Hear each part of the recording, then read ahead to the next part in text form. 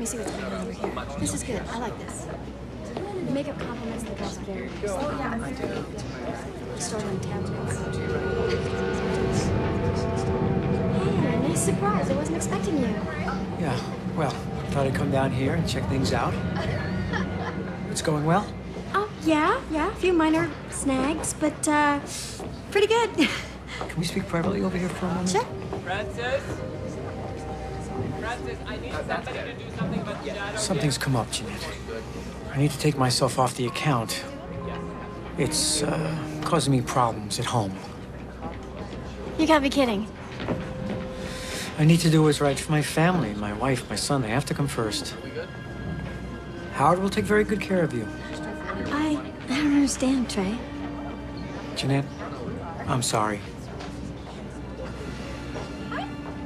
How could you do this to me, Trey?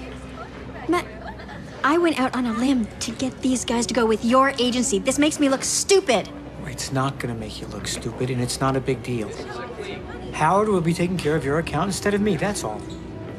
And I talked to him this morning. He's up to speed. You won't lose any time. I promise.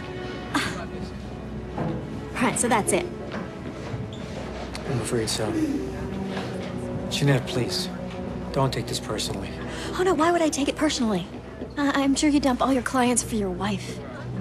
Jeanette,